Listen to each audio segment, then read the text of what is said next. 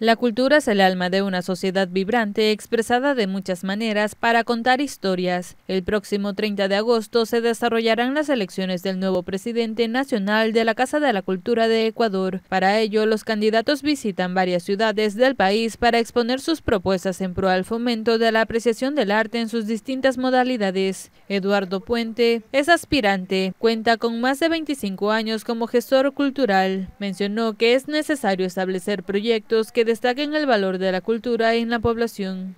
Nosotros nos inscribimos hace más de una semana y estamos ya en plena campaña electoral. En esta segunda fase he querido empezar por Santo Domingo de los Áchilas, una provincia tan querida, tan hermosa, para mandar mi mensaje acá a, los artistas y gestores culturales de esta provincia.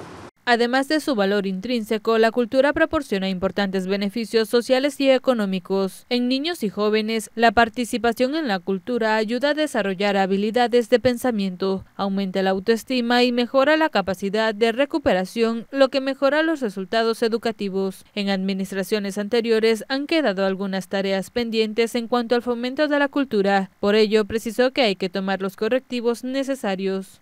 El arte y la cultura no es un pasatiempo. El arte y la cultura es vital en la vida de los ciudadanos, porque a través del arte y la cultura tenemos identidad y sabemos apreciar lo que somos como santodomiqueños, por ejemplo, o como ecuatorianos.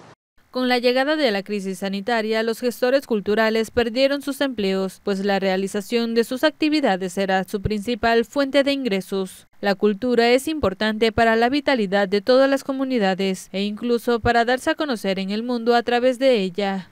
Recordemos que los artistas han sido el sector, uno de los sectores más golpeados por la pandemia, porque no pueden ir a los escenarios, porque no pueden convocar a los teatros.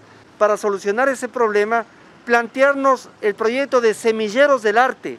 Con eso damos trabajo a los artistas, pero también formamos público para las artes. El próximo 30 de agosto se definirá quién será el nuevo presidente nacional de la Casa de la Cultura.